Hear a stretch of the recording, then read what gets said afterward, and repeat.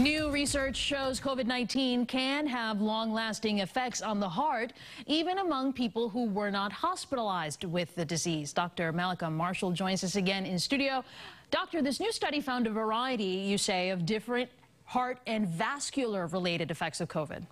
That's right. Well, these were researchers in St. Louis who looked at data on more than 150,000 patients in the VA system with COVID-19.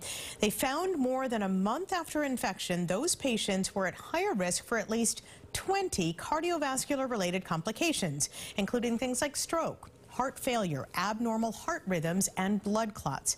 Researchers saw these conditions among some patients who were never hospitalized for COVID.